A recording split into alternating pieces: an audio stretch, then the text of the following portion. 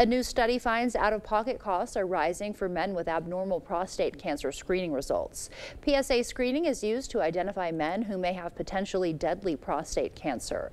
A recent American Cancer Society statement urges insurance companies to eliminate costs that may keep patients from undergoing diagnostic testing.